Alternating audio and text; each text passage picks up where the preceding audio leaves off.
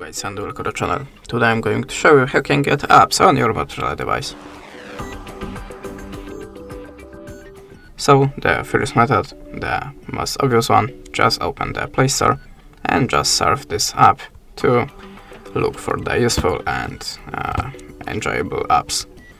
If you want to get any, just tap on it and choose install. That's it.